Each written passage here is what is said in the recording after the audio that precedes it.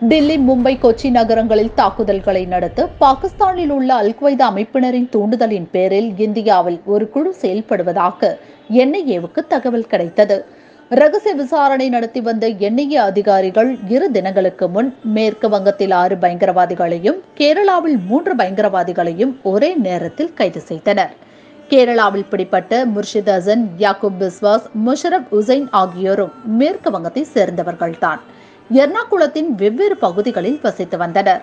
கொச்சி கடற்படை தளம் மற்றும் மக்கள் அதிகம் கூடும் இடங்களில் தனித்தனியாளாக தாக்குதல் நடத்தி சதித்திட்டம் தீட்டி வந்தனர். கேரளாவில் செயல்பட்ட குழுவுக்கு முர்ஷித் ஹசன் தலைவனாக இருந்துள்ளார்.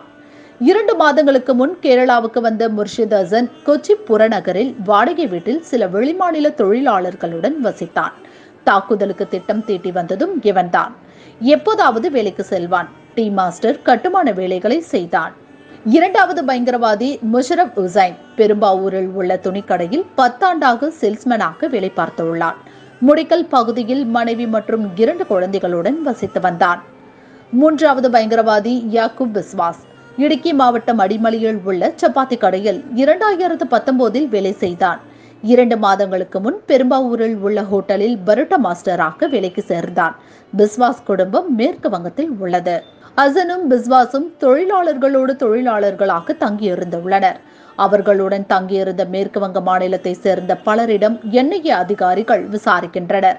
மூவரும் கைது செய்யப்படும் வரை அவர்கள் வேலை செய்த இடங்களிலோ அல்லது வசித்த பகுதிகளிலோ எந்த சந்தேகமும் வராமல் நடந்து கொண்டனர். வெளிய தொழிலாளர்கள் உள்ளே பயங்கரவாதிகளாக செயல்பட்டு உசைன் அசன் பிஸ்வாஸ் கைதாகி இருப்பது கேரளாவுக்கு புதிய தலைவலியை ஏற்படுத்தியுள்ளது. கேரளாவுக்கும் ஐஎஸ் இயக்கத்திற்கும் பல ஆண்டுகளாக தொடர்பு உள்ளது. கேரளாவை சேர்ந்த பலர் குடும்பம் குடும்பமாக ஐஎஸ்எல் சேர்ந்து மாட்டது ஏற்கனவே அறிந்ததுதான். அடுத்ததாக அல்குவைதா அமைப்பும் கேரளாவில் காலூன்றி இருப்பது பினராயி அரசுக்கு அதிர்ச்சி அளித்துள்ளது. அதுவும் மூன்று பயங்கரவாதிகளை கைது செய்த பிறகுதான் கேரள போலீசுக்கு விஷயமே தெரிந்துள்ளது. பயங்கரவாதிகள் பற்றி ஒரு துப்பு கூட தெரியவில்லை. கேரள உளவுத்துறை என்ன செய்து கொண்டிருந்தது? பினராயி ஆட்சியில் பயங்கரவாதிகளின் புகலிடமாக கேரளா மாறிவிட்டது.